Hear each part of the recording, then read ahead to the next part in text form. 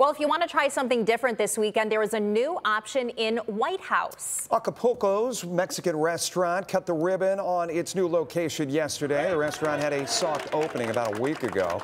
It is where the old Route 64 pub and grub was on Waterville Street. The co-owner says the restaurant serves authentic Mexican food and he's excited to be a part of the community.